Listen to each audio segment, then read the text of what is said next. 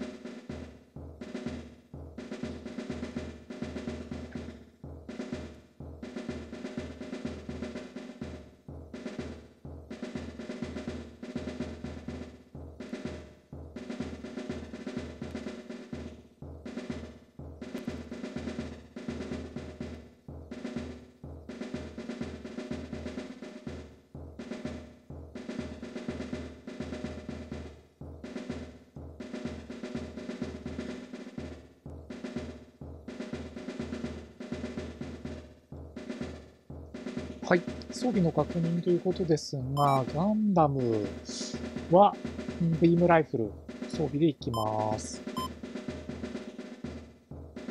で、あと、回のガンキャノンですが、ガンキャノンもですね、えー、ビームライフルを持っていきたいと思います。で、ハヤトのガンタンク。ハヤトのガンタンクはですね、ちょっとまだレベルが全然上がっていないという状況なので、165ミリのキャノンだけですね。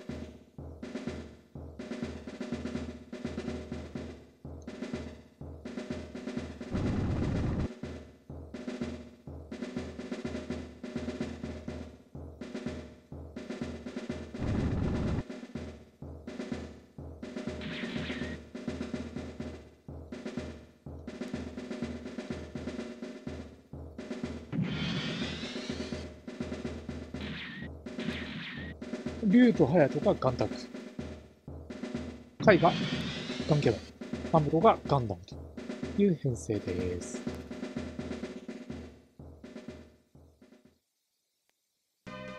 では、出撃です。えー、敵をまあ探索しながらですね、撃滅を行っていきたいと思います。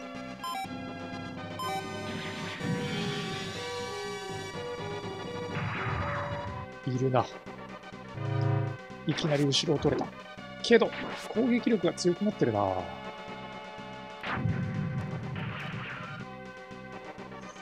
さあ、敵の位置がわからないので、まずは、キャノンをちょっとぶっ放しておきましょう、この辺り。このゲームの一番面白いところって敵の位置がやっぱりよくわからない。これってやっぱりミノフスキー粒子の概念なのかどうかま、ちょっと定かではないですけど、まあそのあたりが、まあ、面白くさせている、まあ、大きな要素なのかなとは思いますよね。タンクもちょっと見込みで打っていきますが、敵はいない。何？後ろを取られた。ぐは結構食らったな。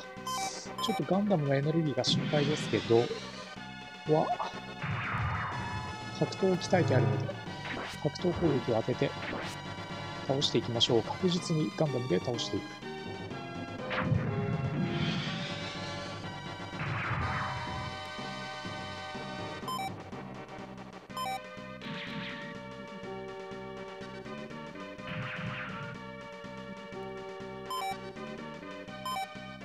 敵の位置が分かればね、もうちょっとタンクの、この、まあ、長距離攻撃っていうんですかね、これが活かせていいのかなと思うんですけどね。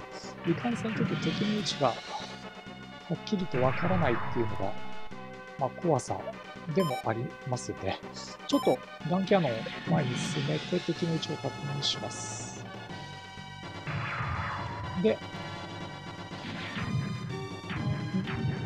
地雷原に入ったか。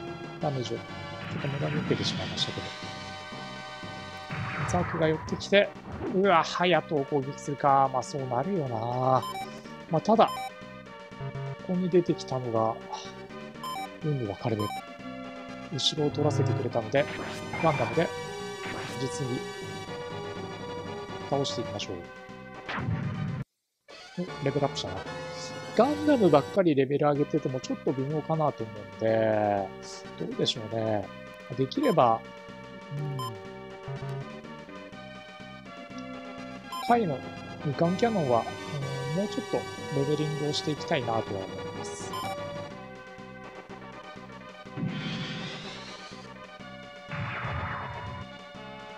なので、せっかく目の前に敵が現れたので、ここでビームライフルを撃っていきましょう。倒した。いや、強いね。回のガンキャノンもなかなか攻撃力が上がってきてる感じがします。ちょっとハヤトのガンタンクはダメージを受けすぎてるので、えー、後方に下げましょう。で、あんまりね、あの、アムロやカイから離れすぎると狙い撃ちされてしまう可能性があるので、まあ、ちょっと警戒しながらですよね。では、次のマップへ移動していきましょう。さあ、新しいマップに移りました。とりあえず目の前にいるザクを倒して、カイたちを呼びたいと思います。カイもこっちにマップを移しましたので、届かない。えー、であればちょっとビームライフルを使いたかったんですが、キャノンに切り替えましょう。キャノンも届かない。くー。絶妙な位置にいるな。もうちょっとキャノンは射程が欲しいかなっていう感じがするな、これだと。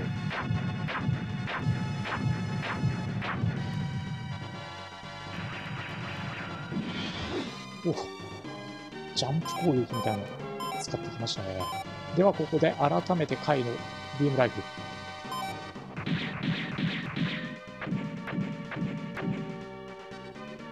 それなりにやっぱりね、火力が出るんですよね。おお、回のレベルが上がった。まあ、回はやっぱり、どうだろうな、この辺のエイムとかを上げておきたいかなって感じがしますね。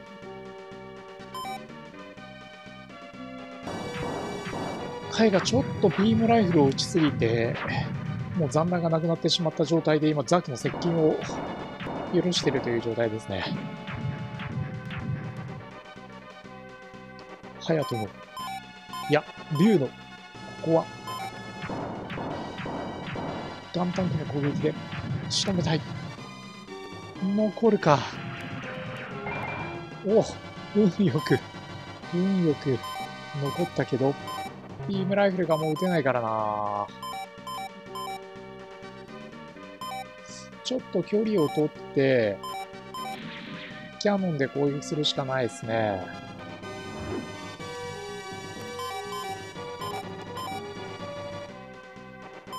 さあ、これで仕留められないと、ハヤトの、いや、竜のガンタンクが、ザクの格闘でやられてしまうな。というところでなんとか倒しましたね。さあ、ちょっと早めにガンダムを呼びましょう。このまま、タンクとキャモンだけで戦うのはきついので。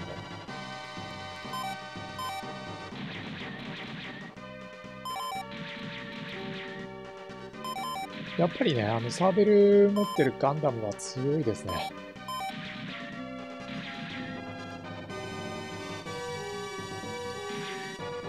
回のガンキャノンのビームライフルもかなり強いんですけど、残弾っていうことを考えるとちょっとやっぱり不安がありますよね。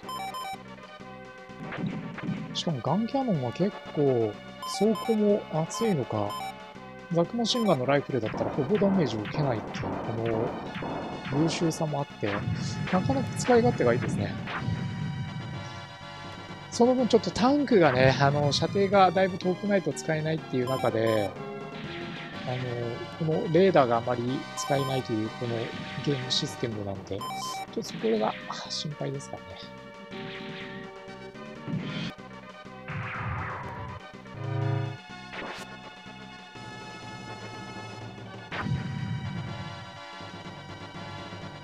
これで一通り倒しちゃったな。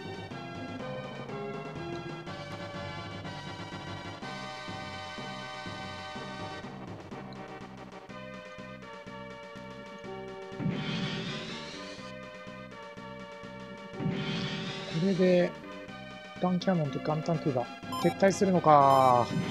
残りのガンダムのポイントを考えると結構しんどそうだな。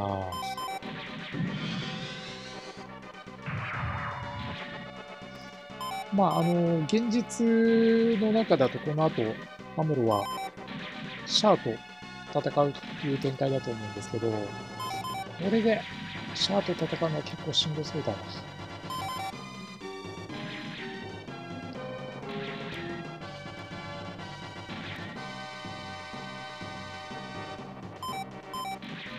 いたシャアがいたこの切り合い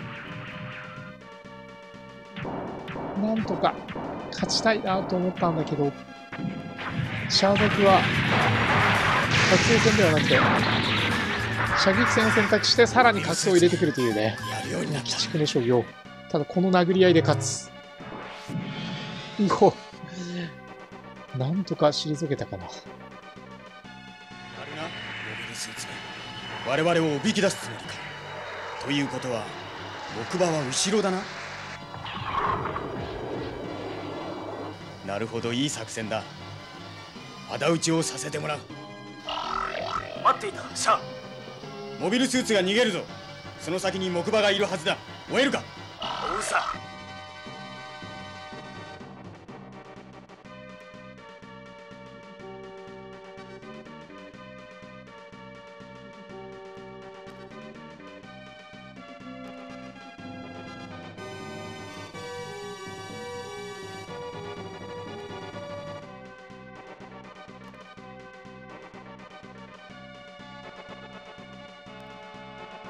ガンタンクガンキャノンホワイトベースの各砲座銃撃手は各々照準合わせ10秒後に一斉射撃。うわうわ後ろから攻撃を受けました。後ろだと木馬です。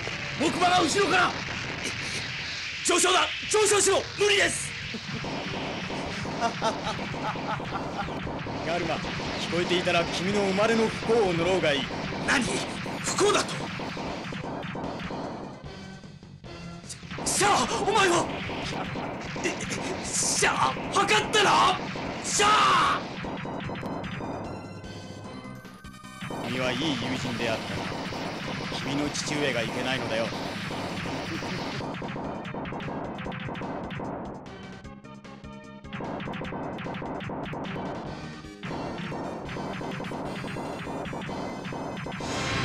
ジオン広告に栄光あれ